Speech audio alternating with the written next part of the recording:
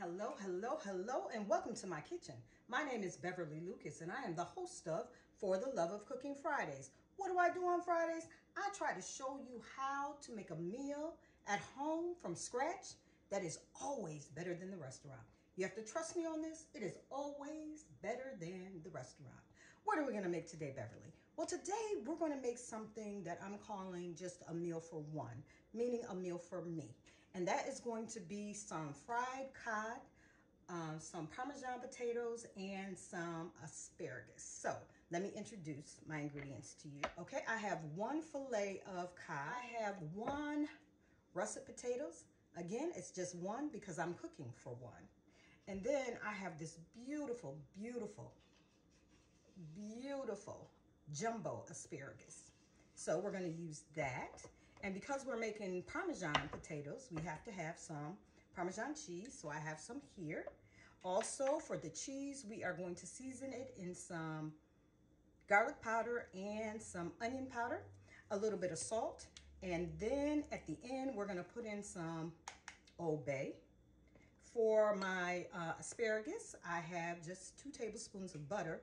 And to fry my fish, I am using some seafood breading. This is so good. And it saves on having to really, really season the fish. So those are my ingredients. You are in my kitchen, so let's get started. Are you with me? Are you really with me? Come on with me. So to begin, I have my one russet potato.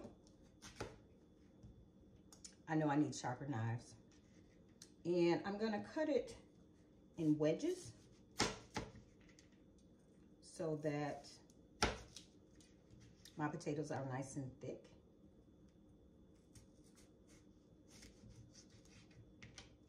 I'm sure there's an easier way to do this, but this is how I do it in my kitchen. And I've washed my potatoes and they are wet. So I don't want to put them, put them in the oven wet because I don't want them to steam. I want them to become like fries. So what I'm going to do is I'm going to dry them off. So I dried them off. So what I'm going to do now is I'm going to put them into this bowl. And I have my oven preheated to 400 degrees. And first I'm going to take a little bit of olive oil and I'm going to drizzle them with the olive oil. And this is gonna help them to become crispy. And then I'm going to add my onion powder and our garlic powder. And you have to remember onion powder and garlic powder do not have salt. So it's just for the seasoning, just for the flavor. I'm just gonna add a little bit of salt, just a tad bit. I'm gonna do them like that. So it looks like this. And I'm gonna line my pan here with some aluminum foil. And I'm just gonna take them and place them down like this. My oven is ready at 400 degrees. And I'm gonna go ahead and I'm gonna put them in let them cook for about 30 minutes. And then I'm going to flip them over. In the meantime, I have my fryer here and it is set for 350 degrees. And that's where I'm going to place my cod.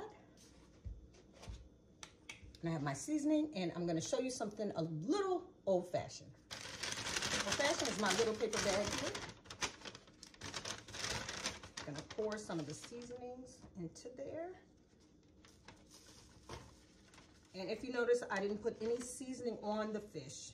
Um, I've tried different ways um, with flour. I tried mixing it with cornmeal. I've tried several ways, but this is the best way that works. And I'm gonna place the cod in here. And I'm just gonna shake it. And I'm gonna let that set for a bit.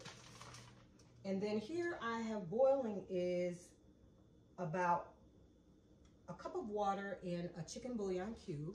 And that's where I am going to place my asparagus. So let's talk a little bit about asparagus. Typically when I buy asparagus, when I'm choosing it, I'm making sure that the bottoms of the asparagus is in water. So in the grocery store, when I'm picking up the bunch, I'm turning it to make sure that it has been stayed moist. And so, and then if I bring them home and I'm not cooking them right away, I make sure that I put them in water. This is my asparagus holder, for lack of a better word. And I keep them in there until I'm ready to cook. Another thing that I do with my asparagus is I peel it, and especially because this is jumbo asparagus to be stringy. So I take my potato peeler and I just take off that top layer like this. Because that's really the stringy part of the asparagus. And as you can see here, my potato peeler, I'm not taking off a lot of the skin, only that top uh, layer. And we're gonna place that in there and I'm gonna wait to cook this. Because this is jumbo, it's probably gonna take about a good uh, five to seven minutes to cook that it's still al dente, meaning that it still has a bite to it. There is nothing worse than soggy asparagus, so we still want it to have a bite. And then after that, I'm going to melt my butter and after it cooks in the water and the chicken broth, I don't have to put any salt in it because even though it was a low sodium cube, it still has some salt in there. So we don't have to do anything to the asparagus but to put um, the butter on it. So that is boiling, but we're gonna wait for that because I have my potato in the oven for my Parmesan fries and that's gonna take about about 45 to 50 minutes. So I'm gonna let it cook for the first 30 minutes and I'm gonna turn it and then it'll be ready in about another 15 or 20 minutes. I'm sure you noticed, but I'm wearing Morgan University gear because I am a student. Um, I will complete my PhD at the end of next year, 2024, and then I will walk across the stage in 2025. I am so excited about that. So I can say, um, hello, welcome to my kitchen. My name is Dr. Beverly Lucas, and you are watching For the Love of Cooking Fridays. Okay, this is what our Parmesan fries look like. Oh, my timer's going off. I let them cook for about a half hour and then I turned them. And now I am placing the Parmesan cheese on there. And as you can see, all the Parmesan cheese does not stick, but that's okay. Because that's gonna make for some crispy goodness. I'm gonna put these back in the oven. For about 10 minutes. Now that our Parmesan wedges are have about 10 minutes, I am going to prepare for our cod, which has been sitting in the seasoning. So I'm going to dredge that off. We're going to open up our fryer. I'm going to shake off the dredge of our fish, our cod, and it's at 350 degrees. And I'm just gonna place it in there and it's gonna cook for about 10 minutes. Parmesan fries look like they're ready. Our Parmesan wedges look like they're ready. We've Move everything around. And I'm gonna sprinkle some Old Bay